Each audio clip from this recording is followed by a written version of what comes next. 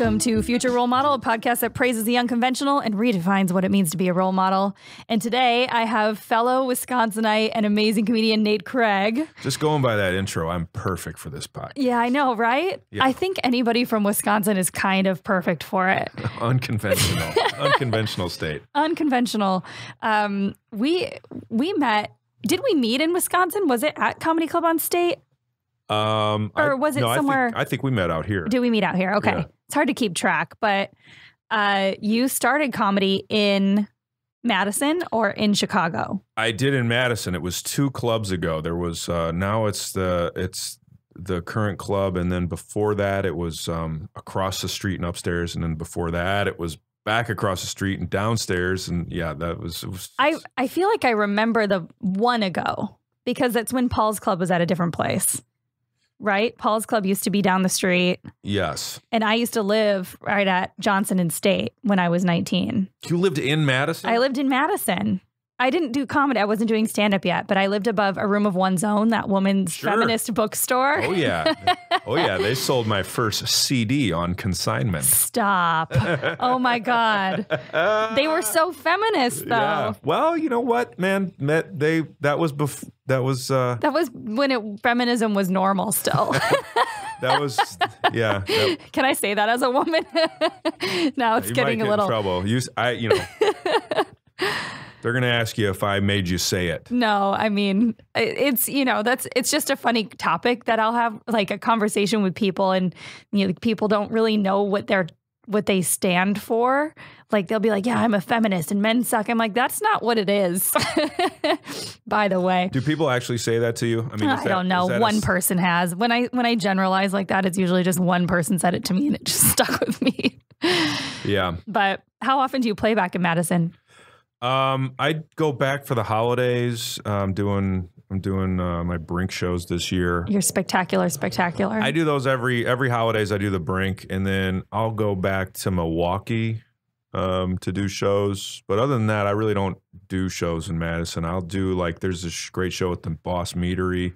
I got to do I got to open for Burr at the Orpheum. Oh yeah, that's right. and then I got That's fucking awesome. And then a couple five years ago, I opened for him at the Barrymore, which is a place I did shows when I was younger. Like Yeah. like my first theater shows as like a was like a 24, three, four year old. oh my god! I did like I booked a bunch of That's- Chicago people up there, Yeah. and um, That's pretty massive for that age. Yeah, I was like, I mean, I thought, I mean, I was, you know, you know how dumb you are when you're that. age. You're like, Totally. I'm gonna, I'm gonna do this. I'm gonna crush this. I'm gonna do this now. I think when I when I was 25, I played um do you know David Showman Freeman that does shows in Madison? Uh, well, no, I know I don't know him because I would never forget the name David Showman. Showman Freeman. Freeman. I know. And I got connected to him. It was right after I moved to um, LA and I was coming back for the holidays. And he did this big show at the Monona Terrace in a grand ballroom. Huh. And, you know, and I did it. And my grandparents came, and I. This was back when my stuff was pretty dirty. I'm like staring at my grandpa while I'm talking about jizz, and like this. Uh-huh. this thing was like 500 people, and it was Uh-huh. awesome. Oh, you crushed. Oh yeah, Oh, that's awesome. yeah, yeah, yeah. Well, I had a great, but makes- it was it was a very like urban crowd, and urban crowds Uh-huh. love me for some reason. Uh-huh. I don't know why. Urbans and gays, urban crowds and gay crowds. You know why? I miss because in when I started in Chicago, that was how I got stage time in the Yeah. beginning. Was the gays? what, like jokes? Oh, gays, they just okay, like yeah. would put. They would just be like, "We don't have drag tonight. Can we put you on a show?" And I was like, "Yeah, fun. So, yeah, it was great." where would you go up then? Because I, uh, Scarlet was my like number one spot. They would let me headline. They would let me headline there, and pay me well, and give me a bottle of Grey Goose. A bottle. Yes, Whoa. you don't even get that now. Even at like in a, I shouldn't have been headlining at that point, but let's just call it going last and doing twenty five minutes, Especially not with a bottle of Grey Goose in you. dude. That was how. Um, that was how I almost didn't make it through my relationship like seven years ago. Uh, um, my my fiance surprise brought his dad to that show okay. in Chicago, and I was fucked up. It was super bad. Oh man. Um, how long have you been in Los Angeles now? uh, I moved here in 07, so 11 years. Oh shit! Yeah. because 07 was when I was starting comedy in Chicago. Well, it's not stand up yet. That's when I started sketch and improv with Second City. Second City, Yeah. you and everybody else. Everybody. It's, I know it's not that cool anymore because everybody's It's on the resume. it's on the res. And you know, what is what was kind of your transition coming from like the Madison Midwest area out to Los Angeles? Um, I mean, I wasn't. I was. I had a good agent in Chicago as far as Chicago goes, and I was getting w- work in. I was working the road, and I was also getting work as a in theater, Yeah. um, which I was. You know, Like in my mind, I needed to be able to. I was I was going to be on TV and movies, and I needed to learn how to act and all this, whatever my ideas were about m- how my career was going to go. and um, so you know, Chicago's a great town for everything. I mean, we just referenced you know one of the one of the best theaters in the country, and um, and there's not many places with that kind of variety and and um, places to perform like that. I mean, what's it, like 400 theater companies or something absurd? You know, Yeah. 200 yeah. but like that's a lot and uh and and so i was very much busy and um doing stuff that i was learning from stuff but i wasn't getting like auditions for like i didn't get the thing that made me move i was like oh i like i didn't get an audition for at the time it was uh, aspen which is like the hbo aspen fest which Oh, was like, yeah. was aspen and montreal are the two big ones now now it's just Montreal, and then there's other festivals, you know. But Sure. Like, but like those were the two big ones, and there was no other festivals. So like you had to audition for those, and then I didn't get an audition for that. And instead of being like, well, maybe I should be funnier, I was like, well, maybe, Maybe I I should, should move, move. to LA. and uh, and uh, um, and so that's that was you know, and then but we were doing, we did have um shows. There was like a bunch of us, and we did like, you know, there's like a bunch of us. You know, we had like a video. Jordan Vogt-Roberts, who just you know he's world famous movie maker director now um shot videos and we had like a we were doing shows at UCB on, in New York and LA. oh, that's cool. Yeah, and it was uh you know it was a bunch of us. It was like you know Kanane, Kumail, um, Jared Logan. Do you have a Uh, bunch of those archived somewhere? Oh, they're up. No, They're- okay, they're I'm up. sure they're on YouTube, but um you know if they're definitely up on YouTube, I'm sure. Was if, it if- like- if they're not, it's because maybe Jordan took them down. Was it sketches? Yeah, it was uh, well, it was uh, um, it became uh, mashup on Comedy Central. Oh, yeah, yeah, yeah. Okay. Um, and so that uh, My God, I that want all started with this website. I want to find those. Yeah, they're fun. They're great. I mean, they look good. You know, like Jordan's been always been talented, and it was just like a bunch of a bunch of us lunatics, like Yeah. doing, doing our bits. You know, and then we you know ran out. You know, I jump on top of a Would you go fuck with people in the like in the city? I, I jumped on top of a Hummer that was parked on, you know, Ashland Ave. I, it was there was all kinds of people. Uh, Bryce put on a on scrub scrubs and like was screaming out the back of a of an actual ambulance. That Yeah. Was like, put- for- oh my God. there, there, there was um, yeah, there was some hilarious videos. I mean, no question, no question. I wish I would have been more forward thinking in that way because I used to I used to go out and fuck with people in the city all the time when I first started improv. And I before I moved to Chicago, I had discovered online, I don't know if you'd heard of Improv Everywhere. Yeah, They're the like the New York guys and they would Uh-huh. just do like public kind of pranks, like basically like flash mobs but for comedy instead Uh-huh. of dancing. And um I was I was always trying to do shit like that in Chicago and didn't record any of it. But I I did have like a really shitty handheld camera that I would take like to New York and stuff and I would just like record hanging out with people drunk at bars. But I wouldn't record like the right stuff. Mm. so that was uh my archives are useless. content has taken on Content. a whole new meaning. I know it really has. I didn't. I didn't think about it that way. I, I, you know, I miss the days where we actually used to just experience life and not have to worry about sh- filming it. I still don't. I still don't fuck like that. I mean, Yeah. if I'm enjoying myself, I'm the last thing I want to do is pull out my phone. yeah. No. Exactly. Yeah. I have a no. I have a no phone policy at dinners always. Because I feel Yeah. like it's too easy. Um, but let's talk about growing up in Wisconsin because I don't get to powwow with a lot of other fellow Wisconsin comics. Yeah. What was I was what- just I was just talking to my buddy Joe. There's this uh, hilarious kid Joe Riley in Milwaukee, he's a social worker, and he's also this. He's hilarious on Instagram. I, I have to find him. yeah, it's he's hilarious. And uh, we were just talking about people in Wisconsin. Go ahead. Sorry. Well, well, I, I'm because, and I don't know what it was like for you growing up, but I feel like any of my friends, all of my friends are hilarious. Like any of my friends could have probably done comedy if they wanted to. They just didn't want to. so many funny, so many funny people. so many funny people. Yeah. So growing up, like what what was your thing? What was your family life like? What was your friends' life like? How did you end up parlaying that into into comedy? Well, I was always a fan of stand up. I just loved it. You know, who wasn't? I mean, I, I'm I can't count how many times me and my buddies watched Eddie Murphy Delirious. Oh, which, yeah. You know, uh, I, I don't know who said it. It was probably John Roy. He's, he was responsible for the Eddie Murphy Delirious is responsible for like three generations of comedy. oh, for sure. Five. Hundred percent. I don't know how much, how many years it takes for a generation of comedians. I suppose ten, but uh, but maybe maybe fewer. Um, in which case, it's countless generations of comedians are Yeah. delirious spawned. But um, but yeah, I mean, I always loved it. And then um, you know, there was a club in Madison, so that just was kind of the next the logic. It was tangible. Yeah. Did you become when did you start performing? How old were you? Uh, I was um twenty 20? one. That's fucking young. 1998. But at least you were in Madison. I feel like if you I feel like I feel like it would be so scary to start stand up at 20 or 21 in a big city, but I know people that do it.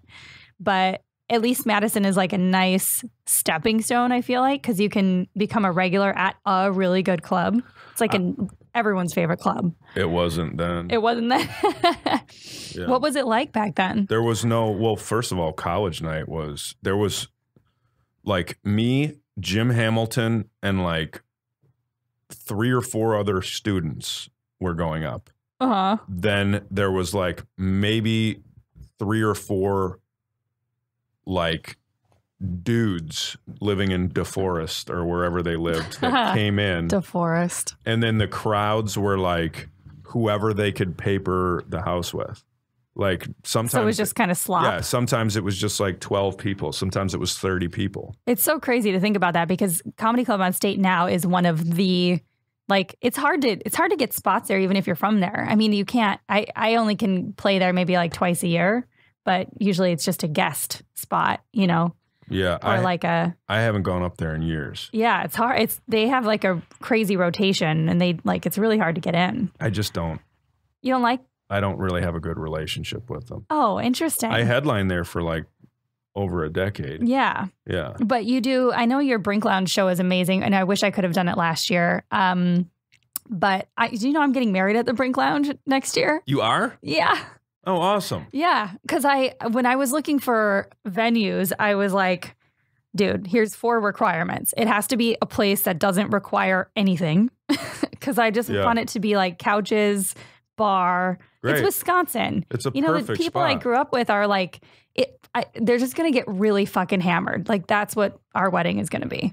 So I'm like, I just need a, play, a stage. And the night before, we're doing a roast of the bride and groom. So, Fun. on the same stage that you do your show, we're doing a comedy roast the night before.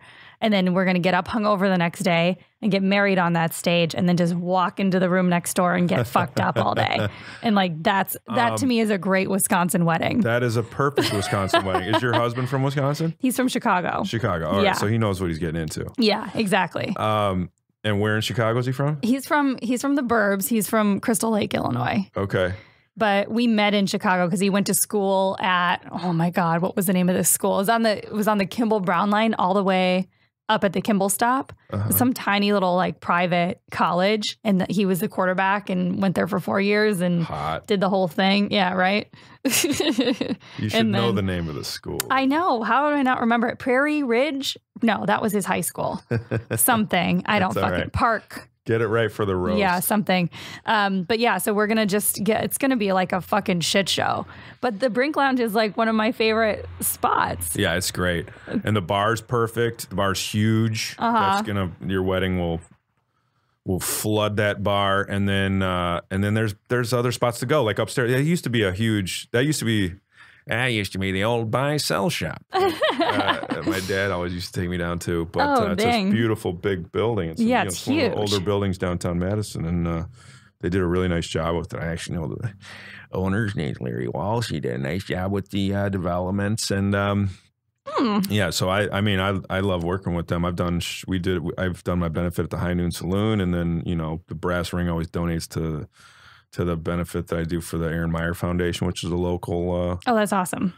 local charity for uh, for um, college age uh, men and women battling drug and alcohol dependency. So yeah, that's kind of like my my hub right there, man. I love that whole facility. That's cool that you give back to a charity that that helps people that are battling drug and alcohol dependency. Um, I Because I was, did you choose that on purpose? it was chosen by uh, Tom Farley, Chris Farley's brother. He used to run the Chris oh Farley wow, Foundation. I used to do shows with them, and then the Far the Farley Foundation kind of. I mean, they gave all their money away, yeah, um, and uh, because you know Tom's the best and the family's the best, and um, Mhm. And they and they uh, they did all the hard work that they could, and and uh, and now they all are, are focused on other things individually. I think they maybe function as a family in some some sort of uh, unit, yeah. but uh, but back then um, they were nice enough to have have me work with them on a couple of things, and they did the comics come home, and they put me on that, and that was awesome, and and then and then this benefit they so Tom chose uh, the Aaron Meyer Foundation um, because uh, Aaron, the young man that passed away, he was actually he had gone through recovery. and He was taking kids to, uh, you know, other young adults to recovery, and he got Yeah. into a car accident, um, which is a, a sad story, but a uh, you know a, a really wonderful, beautiful um, story if you think about it. And he went to their same high school. oh, And he gotcha. went to Edgewood, and so that was there was kind of a connection there. Um, and then I just kept him because I know I've gotten to know Aaron's dad, Tom. He's the best. He always comes and hangs out, and Yeah. you know, um, he's just a he's just a smooth, cool ass motherfucker, and uh, Fuck yeah. and so that's I've just kept it. Do you drink anymore, or do you not? I definitely drink. Okay, I was like, I didn't know if Yeah. that was a thing. No, I have a I have a very comfortable relationship with alcohol. Okay, At times, it's it's been too much. yeah, I but that's the business we're in. dude and that's i anytime i hear somebody because we live in la and people do these like cleanse weeks or whatever i'm like i've never done that in my fucking life Uh-huh. i've never not eaten solid food for any given day Uh-huh. and i and any day that somebody's like do you want to get a drink i'm like yeah like i really don't restrict myself and i probably should I um, I'll, I've taken the foot my my foot off the gas as far as whiskey goes. Um, you know, Yeah. if I'm if I've uh, if I feel like I've earned it, you know, Yeah. maybe I'll, I'll I'll go in for whiskey. Um, but def I definitely I, wine with food is goddamn biblical. So Dude, I'm, I'm not exactly. gonna not drink wine with food. I mean, um, you know, if they're serving it, uh, but. Uh, but I've I've gone in for more IPAs now lately, which Yeah. is probably the wrong approach as you get older. Like if you really want to here's keep it tight, you might want to stay away from the IPAs. You know what? No, I look at it differently because there's such a kombucha craze right now, Uh-huh. and kombucha is just fermented. It's a fermented beverage. I feel the same way, but And I think beer right is right, that. I hear you, I hear you, but I think anything like any Bud, any light beer, just strips your guts down, and Yeah. some. Some heavier beers with like what you're talking about, like your natural bio yeah. bio positives, might uh, upset my stomach sometime. oh, really? Yeah. Do you do Belgians though? I drink a lot of Belgian like quads I and don't shit. like that shit. and I, go- think they're so in sours. Oh my I god! like a sour. Get out! I love I'll me a drink those all fucking night. I'll drink a sour. I like, but other than that, I want some bite to my beer. I'm I'm like one of those. I'm like one of those like I guess like I guess it's a trend. Like I love talking to I love talking to like brewmasters or like bartenders who are like just roll their eyes at people that love IPA. yeah, you know, because it's just like that's like the thing, and Well, like it's all 'cause it's people buy. It's like yeah. I guess I like them though. I'll drink a stout, like if it's like if I have like if I really am like Yeah. if I'm You're really feeling squirrely. if I'm on if I'm on if I'm on empty and I got a I got a plate of pasta in front of me or something like that, I'll, Yeah. I'll drink a stout. yeah. You know, like that's really really delicious, and some of them get real like actually taste like chocolate. That's fun. Yeah. Which city did you grow up right in Madison? Yeah, I went to I went to West. You went to West. My mom went to West. Nice. It's the best one. My mom went to West and then moved to Chicago like her senior year. But in Madison, I like because I really I didn't really know what people's life was like growing up in Madison because I was in Stoughton, Mm-hmm. so I hung out with people from McFarland in Oregon, Sure. but I didn't quite hang out with the kids from Madison because that was we knew you way too cool. We knew you were Madison kids are way too cool. Like, what did? How did you guys party growing up, or like, what was that? What was that whole scene like? Oh, we partied. I mean, that's talk about un, unhealthy alcohol consumption. Dude, because that's Wisconsin, period. Well, I had my first fake ID at 16. Oh, that's aggressive. Yeah, I was buying kegs, a lot of them There there was this for, place for other children. I used to do that too. I had my first fake at 18 I've been though. buying beer for children for decades. if you're a child too, I feel like it's not even bad. I used to have this eyeglass council in my car Uh, um, that I would hold like I would buy cases of beer for younger kids and then tell tell them how much it costs and they'd all pool together. They're like five dollars. But the, you know, the case would be like 14 bucks and I'd stash the other 15 bucks away. yeah. And like I I raked it in. I had like hundreds of dollars in tips in my eyeglass compartment Oh, at a- all times. You had a business. I had a business going. I was totally Yeah. looting. I never um I never really like had a hustle like that, but I it definitely was worth its weight in gold as far as like social as far as like getting the house cup when you went places. Bless you. the house cup and like yeah, like just being able to, you know, it's just op- you know, it's a small town as is, but like it's any small town. There's you know, and, and also your high school age, you know, dudes. You know, you, there's all kinds of like. We never had to. We never had to fight with anybody because we brought the beer. Yeah. So you were the cool kids. We were the cool kids. For I mean, at least at the end, I was a real dipshit. For who am I kidding? I was an absolute. what was your moron dipshit phase? Because I mean, I had a real awkward phase.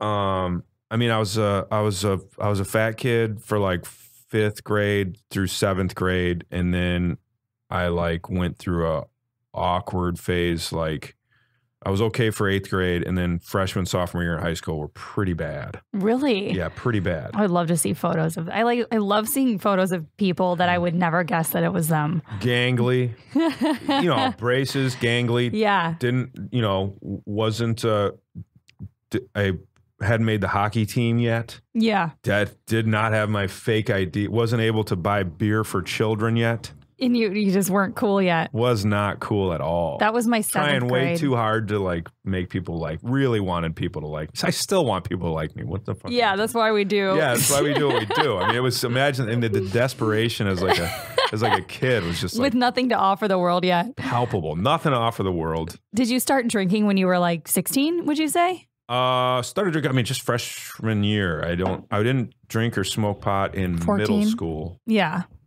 Yeah, I didn't either. But then the second we hit high school, it was like we.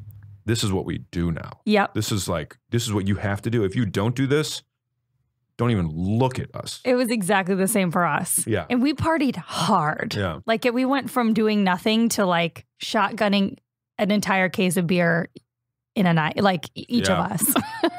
Yeah. it was pretty nuts. What did, what kind of parties like what were your cuz we in Stoughton we mainly we'd party on boats. If we we had like three friends with boats. That's fun. So we would do that in the summer. We'd party in barns. We'd party in cornfields. We'd party in garages. Boat sounds like a good. boat sounds like a good way to get an underage drinking ticket. Yeah, it should have been, but I never got an underage drinking ticket there. But I got I got an underage drinking ticket in the woods. I got an underage drinking ticket in a closet. I got an underage drinking ticket Hold on. in a Outside the what was outside the closet? the cops found me. The cops. The cops are coming from inside I the was- closet. I was hiding. It was oh my god! It was his house party at this chick Mandy's house, and it was this old Victorian Her house. parents' house. Yeah, it was her parents' house. Uh, Like, are we talking it downtown? was in high Stoughton? school, like in the in the country. In the outside of outside of downtown. So there was like cornfields surrounding it and there was a barn and she had like this old Victorian house. It was huge.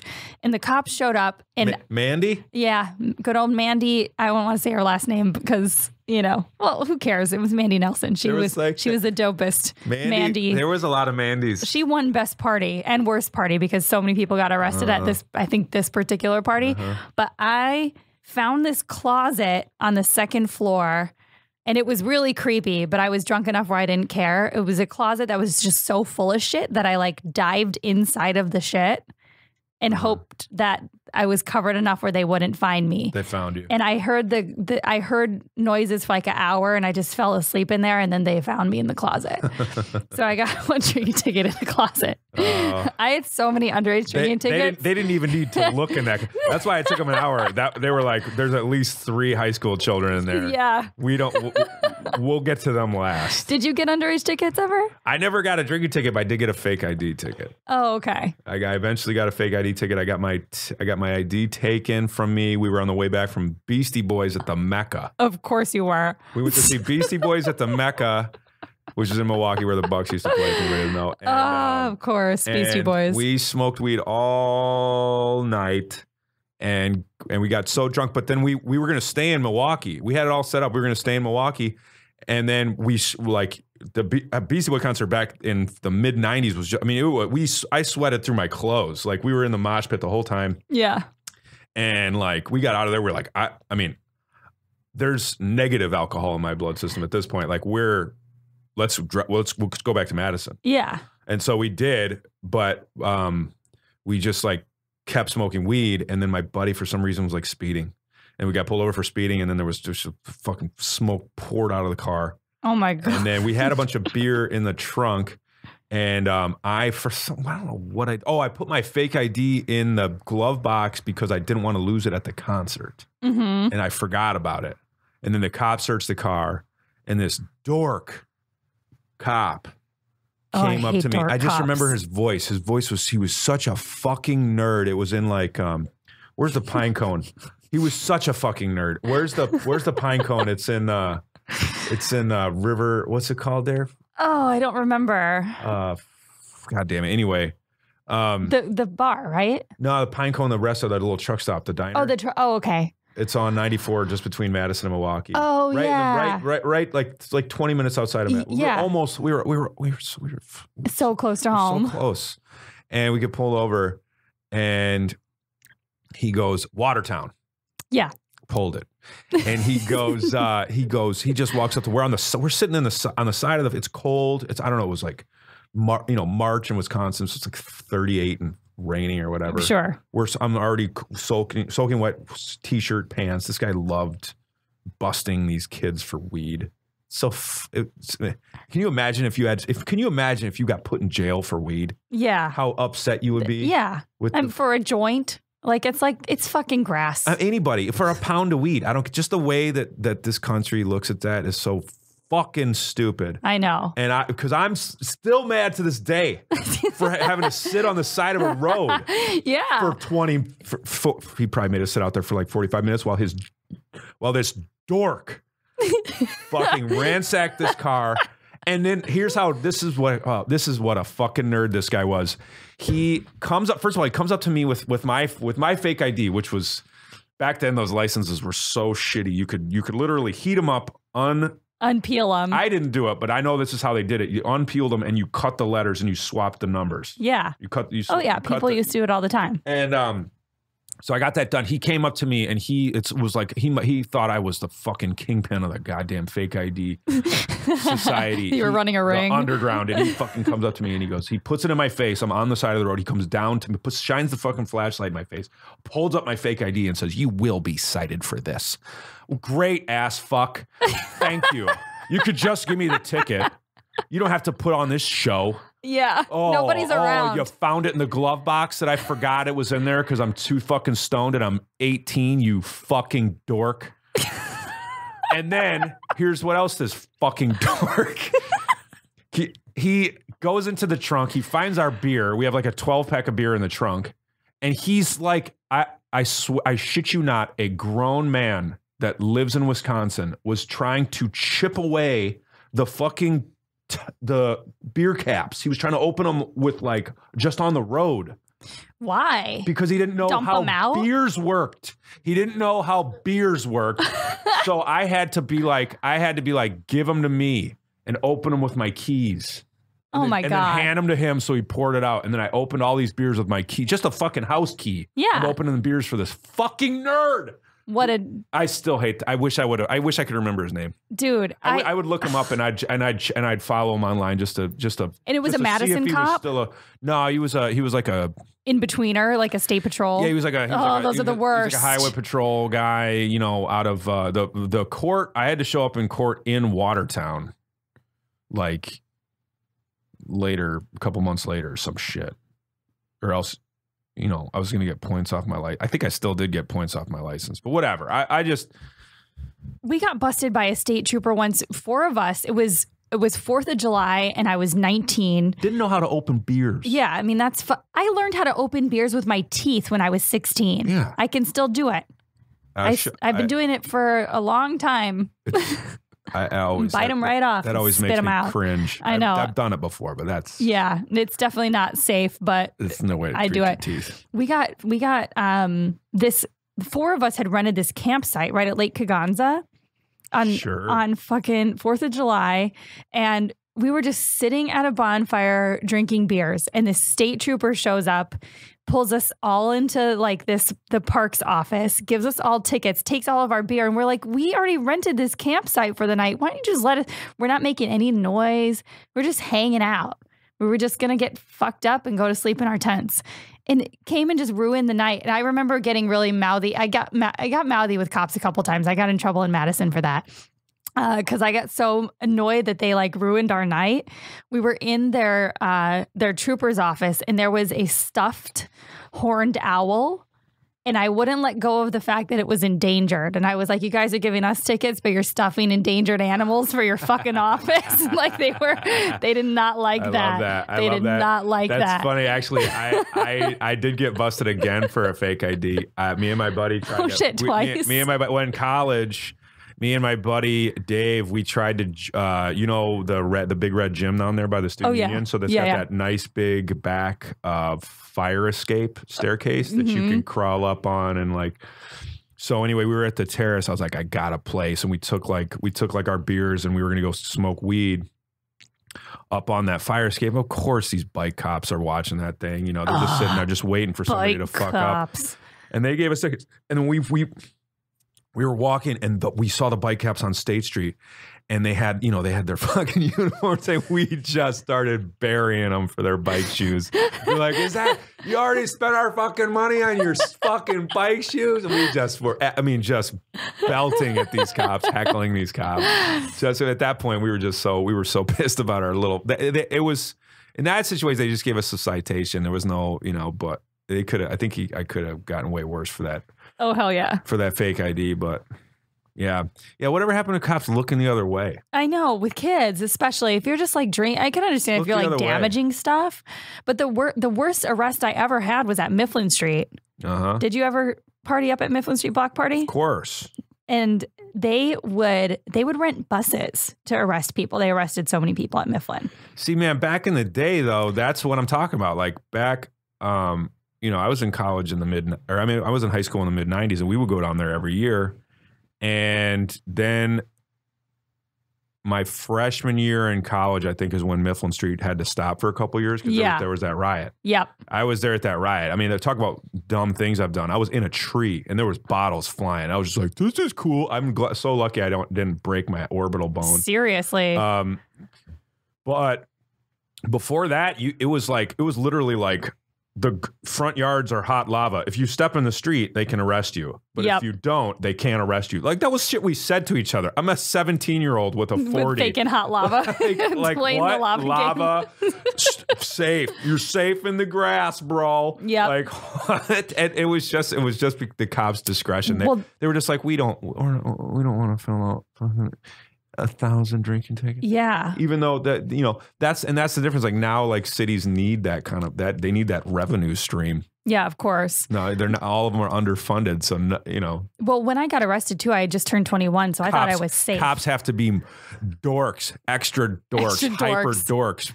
Dorks, because you won't fund school lunches. Yeah, I had this lady, what the lady that arrested me hated me, and she got us for no glass or glass in a no glass zone, which I didn't even know was a thing. No glass. We were we were so exact we were so happy to have purchased glass Rolling Rock bottles Oh. and entered Mifflin Street Block Party with glass Rolling Rock bottles, and we Have got you- arrested immediately. By the way, Rolling Rock, such a great beer back in the day. Yeah. Have you tried it recently? no, has it gotten shitty? It just gives me a, a real bad headache. I'm sure. I tried and tried because I was real partial to that green bottle. Oh, man, Yeah. that that to me that might as well have been. I don't know what it was about the green bottle, but it was very attractive. I also liked uh also liked um what do I want to call it? Lowenbrau. Lowenbrau's got a fun bottle. Oh, I don't know Lowenbrau. Lowenbrau. I don't with know the, Lowenbrau. Blue label with the with the uh the the golden dragon, the like, Oh, real oh, animated yeah, yeah, yeah. fingery golden Okay, dragon, yeah. you know, like just 2D kind of Yep, I know it now. outline. They, We would do St. Pauli Girl a lot. We would do Leinenkugel. If you were at a good party, you got Leinenkugels. That was when you knew like you were at a rich kid's house. line and Kugels. Leinie, if somebody had a a Leinie's one. barrel, you were like, yeah, somebody's Mm. getting fucked tonight. Mm, word up, Leinenkugels. That was the good stuff. We drank, man. I would buy barrels of Pig's Eye. I would drink. I would buy. I mean, old Milwaukee cases of old Milwaukee. Oh, those- yeah. I don't know if you if they did away with them, but they used to have old sturdy. You didn't just recycle the bottles. You recycled the boxes. The boxes were like we built furniture out of those old old Milwaukee boxes. Those were, were like they were like they were like ha- half cardboard, half wood. Like they were like no way. shiny old like they've had two f- the top was like a two part like it folded from each side it closed and opened like this like a like like a liquor That cabinet sounds amazing. yeah it was great Why- those old all beer should come like that. yeah th- no those were great that, that was uh and then you would take the fucking recyclables back after the recyclables the case cost you six dollars and thirty cents for a case of old milwaukee Si you heard it right friend six thirty you would take the case back and get and get you know you get your You get money back? you get oh yeah you get your 190 back for the case Fuck yeah. yeah, they wanted the they wanted the bottles. They also wanted the box. oh my God. Yeah, What a great business. yeah. You just get to empty the product and re- recy- recycle. I guess it's like the best form of recycling. They were taking it. now easy. they only do that with juice bottles. And I'm like, I don't drink juice. Where's Yeah. the beer? Did you guys mostly, I mean, was that was that your limit of getting in trouble? Was that like to do with partying or did you get into any other Oh, mischief? I mean, people got busted for mushrooms and weed and coke and acid. Um, I never got busted for drugs. Um, Are you a shroomer? Did you shroom when you were younger? oh yeah, yeah, uh, yeah. Well, uh, once a season, that was my rule. Once a season? Mhm. Is that so you don't go overboard? I mean, I definitely did it more. Yeah. I've, was- I've never I- done sorry, shrooms yet. At least once. I'm scared to hallucinate because I think I would I think I would really do fucked up things. Oh man, no, it's it's not it's not like that. I, I will shroom at some point in the near future, but You I haven't done it. Yeah, do it. Mushrooms is the best. Yeah. Mushrooms the best drug. Besides alcohol, mushrooms is the best drug. Uh, uh, yeah, you don't see different things. You see things differently. That's, in well in Madison. I'm quoting myself from high school. that's what you you wrote that down. I wrote that down. when I was in high school, I think I was a sophomore in high school. Two of my best friends decided to shroom for the first time, and so we were at their brother's house in Madison. And I didn't. I just got drunk while they were shrooming, and I documented the whole thing on paper, what they Mhm. were saying, and I still have that an entire notebook of shroom Uh, journaling. I'm sure you were a lot of fun that day. I fucked with them so hard. Like they were, they thought the the basement was like satanic, and so I just kept doing like fucked up things to make them think the basement was haunted. And it was, and I came inside at one point with a with a street cone on my head, and I think everybody had like a heart attack because they didn't they didn't understand what character I was. you got to do mushrooms, man. yeah, I know, I really do. Yeah, mushrooms are great. I've been enjoying Molly too much in the recent future Oh, or recent past, I guess. um, Not Yeah. very often, but like don't get me wrong. I've I've done it more often than not. I've done all of them, but uh, but mushrooms is the best. I, you know what's actually the best is some the liquid acid nowadays is Never uh, done. the best. What like why like why? It's just the best. Uh, my it just opens you all the way up, and it's there's no Like, do you feel when you've done that stuff? Because I feel like I feel like I would have a really amazing there's no trip. there's no come down. Sometime on Molly, there's a come down, Yeah, or, or on or on ecstasy of varying degrees of yeah. purity. There's like a you know it's like that's why they call it rolling. The 'cause it- crashing it the feels next real day. good, and then you're Mhm. like, oh my god, is this going away? And oh my god, it's not going away. And oh my god, is this going liquid acid. So is it like a dropper? Yeah, they just put it on something. Oh, sweet. Yeah, you know, Yeah, I need to. I need to see. I need to do a lot more hallucinogen stuff, and just maybe this time I can video it. see actually what my experience looks like to other people. Yeah, I wouldn't worry about that. I just, I just, I mean, yeah, if you want, whatever you want. That's the thing. You won't really care. Like No. it's, it's just, it's just like it's. There's no hallucin- hallucination. I'm maybe if it's like if you're if it's a part of your brain that you you know that you haven't accessed in a while, or if it's just kind of out of context for you. hmm You know, however you get clear headed. You know, whether it's a cup of coffee and a walk on a sunny day or whatever. You know, then and you feel like you've you've really kind of. uh you've settled yourself and your thoughts are clear and and you know and that is your kind of moment Your zen. your mom, momentary uh, uh, zen and and then you move on into the to your regular rat race and you forget about you know how clear headed you were on that afternoon Oh yeah. um, if that's if it's been a while since you've had like a moment of uh, clarity or peace, um, you know, uh, maybe you know all of a sudden out of nowhere on a night out with your friends at a bar, it will be out of context for you, and so you'll start fo- fixating or fo- focusing on certain things, and that'll make Yeah. you feel like you're hallucinating. Um, but for the most part, man, I've never really outside of like light kind of being uh, extra bright or noticing like halos. Um, you know, I remember being I went I took um, liquid acid when I was we went to see Page Plant in Milwaukee when they toured. Oh, Remember that- nice. That, reunion kind of Yeah. half Led Zeppelin tour. Yeah.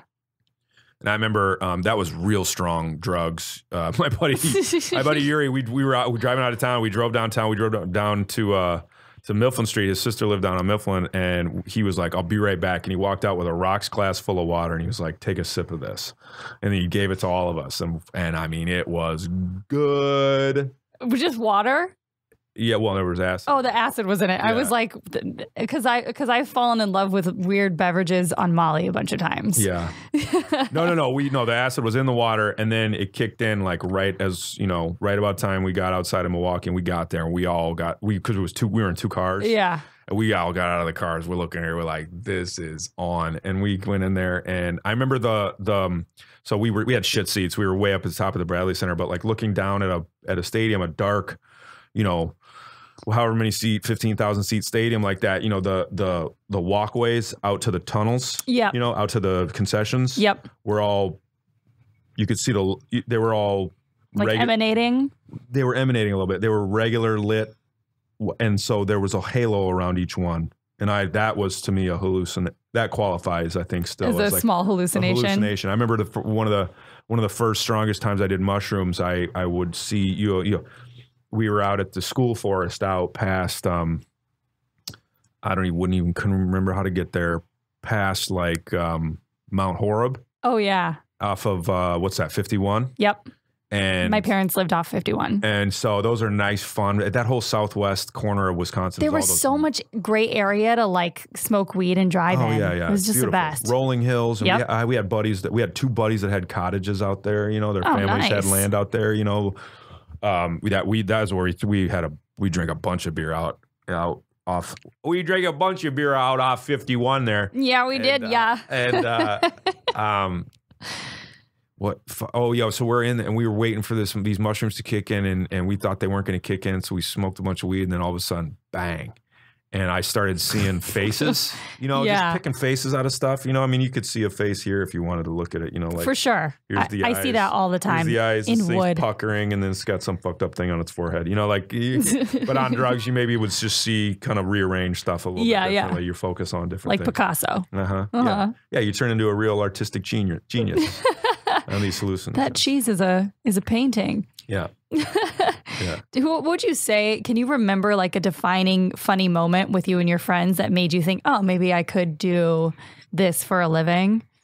Was there a moment, like your aha moment? Oh, but you about comedy? Yeah. I thought you were talking about doing mushrooms for a living. That too. Mush- mushrooms for a living could be an option. Um, I uh, Oh well, with my friends, no. I mean, my, my friends' moments where I was like, I'm going to do stand up comedy because clearly I'm uh, the funniest, fucking the genius. funniest person in this room. yeah, clearly I'm a, I'm a, I'm an all-out genius. I, I, um, the moment I thought that I could do comedy for a living, I guess. I mean, I was wrong, but. Uh, um, but I don't know. I, I won I won a contest uh, to in the, on campus, and then I got to be like the house MC for a while. oh shit. Cool. Yeah.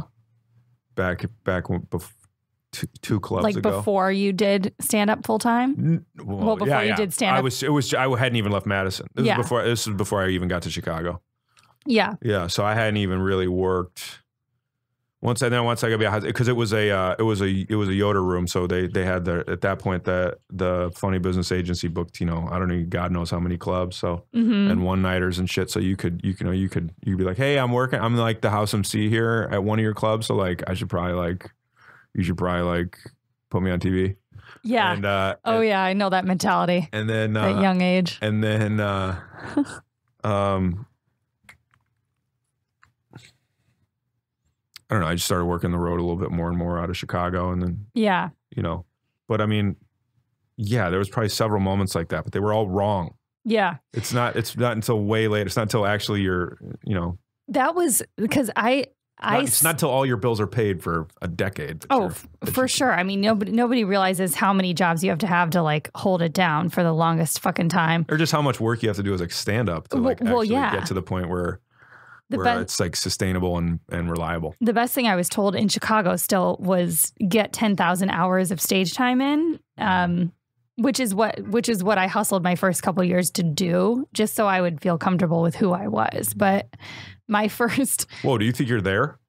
I said, I don't know if I'll ever feel like I'm there. You no, know? but I mean, I'm just saying ten thousand hours. oh yeah, yeah, you're for ten thousand sure. hours. Yeah, for sure.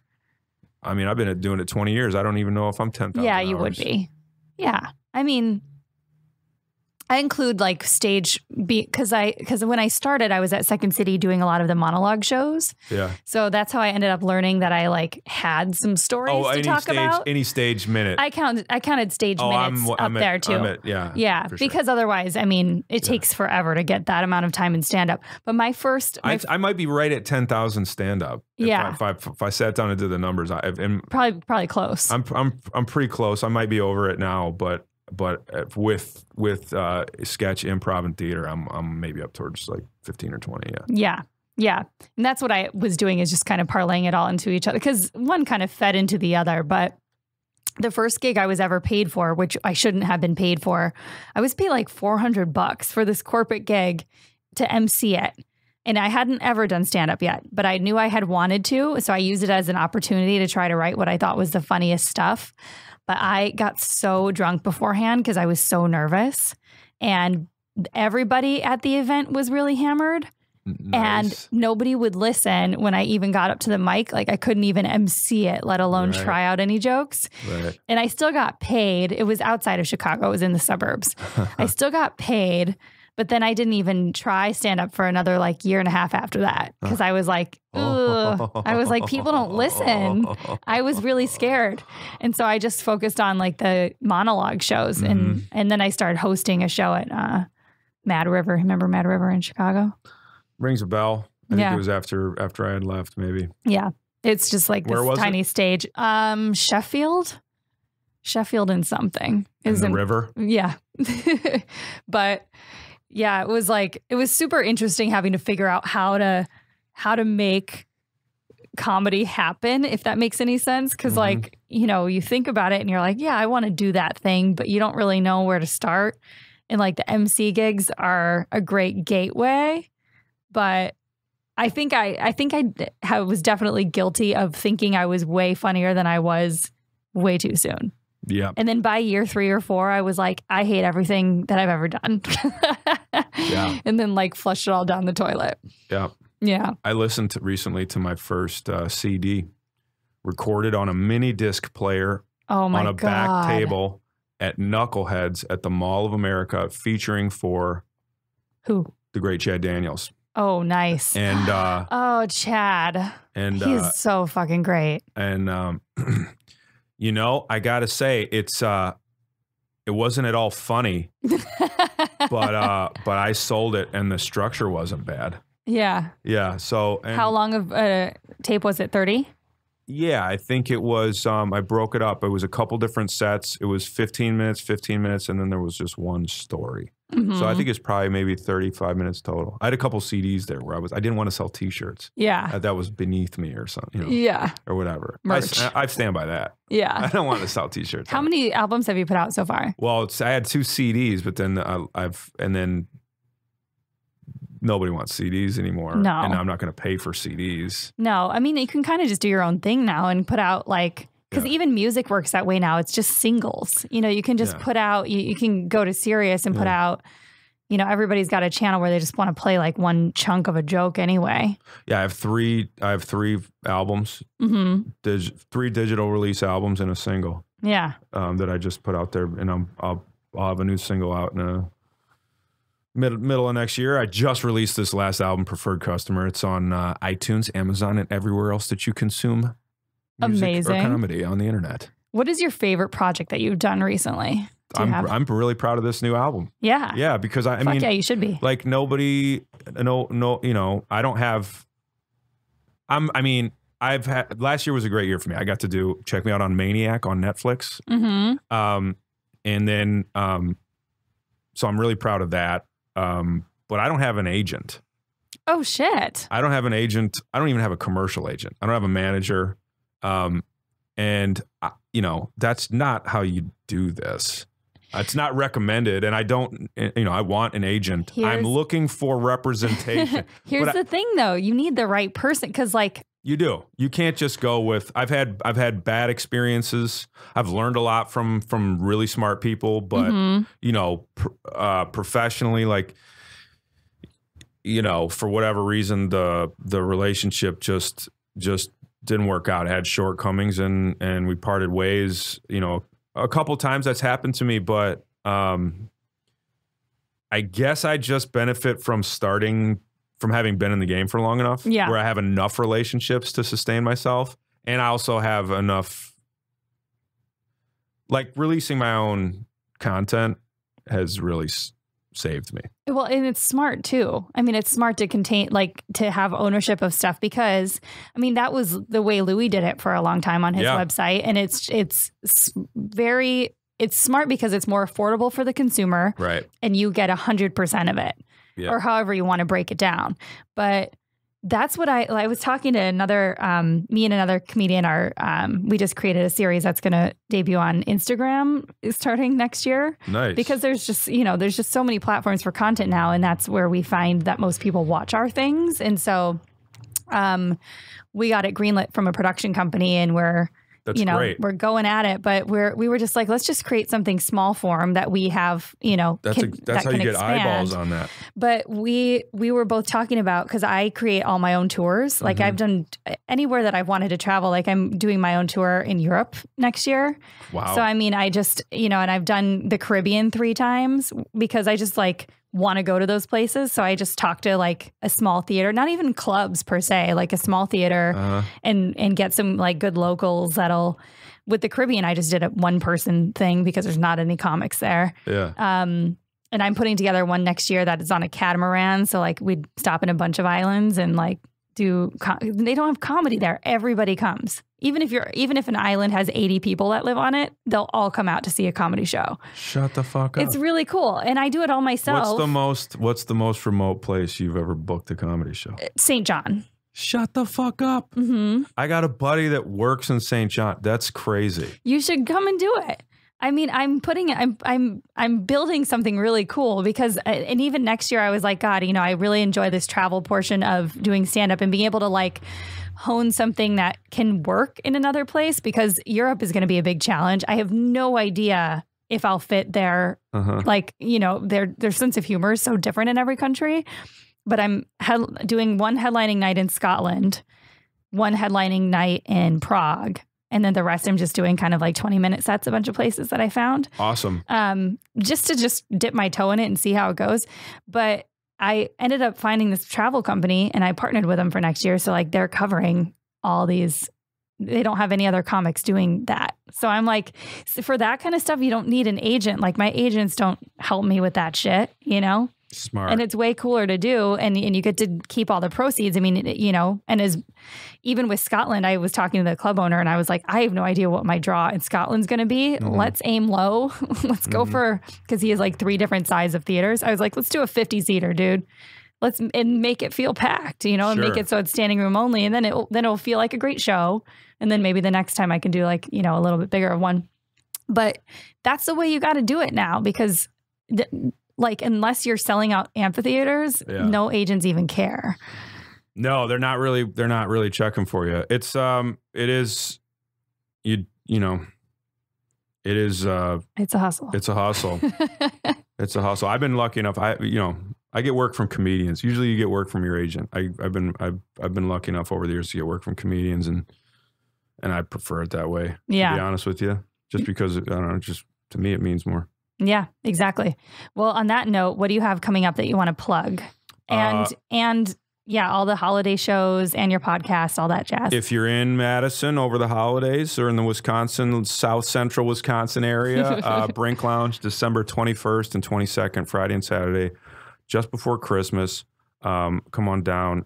I will be there. Um, the Visitors Locker Room, you can find that at my website. We're on SoundCloud. Um, I'll put it on all your all your preferred platforms shortly. We're just uh, getting that show back up and running. I was telling you about it. It's a long-standing Chicago institution. that's awesome Um, yeah, as little sports as possible. Believe me. Uh, and then, um, and then I don't know. I'll be uh, I'll be doing Sketchfest in San Francisco in January. I'll be at Go Bananas in Cincinnati in February. Um, and please check out Preferred Customer. I'm very proud of it. I did a Dynasty Typewriter right down the oh road i here, love that place and um, the crowd was awesome. Uh, I'm really proud of it, and I would love uh, would love for people to hear it. hell yeah and how can people find you on social Hype Man on Twitter, Nate Craig Live on That's. Instagram, and i'm NateCraig.com. natecraig.com and I'm NPH Comedy on Instagram and Twitter. You can follow the podcast at Future Role Model on Instagram or at Role Model Pod on Twitter. You can follow the Comedy Pop Up Network at Comedy Pop Up or at CPU Podcasts. Follow all the podcasts that are on here. Everybody's amazing and talented comedians. And oh, right. what else? Yeah, this is about